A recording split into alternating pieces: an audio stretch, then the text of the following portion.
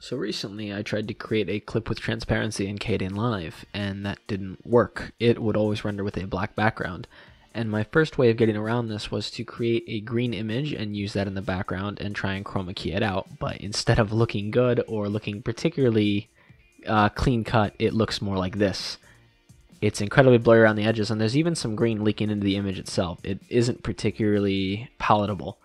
And so I decided to look into an alternative method of actually creating transparency, which I figured there must be a way because MLT supports it, and Kdenlive even has a render selected as transparent. So, from the top, you're going to select the transparent render format and click Generate Script. Ignore this issue I got, that's only because I rendered the video before. Then, click on the Scripts tab in the render window and note the location of the new .mlt file.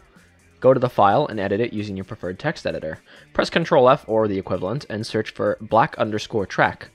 A few lines beneath that, you should see the property name resource tag, and we're going to edit black to a hashtag followed by 8 zeros, and save the file. With that done, head back to Kdenlive and click the Start Script button. After you're done rendering, you'll notice that new video supports an alpha channel and has actual transparency without any blurriness or color bleeding. So I normally don't do tutorials, but I couldn't find anyone who knew how to actually achieve transparency in Kdenlive, so if I did this inefficiently or I missed something obvious, let me know. I'm still learning this software and all of its quirks.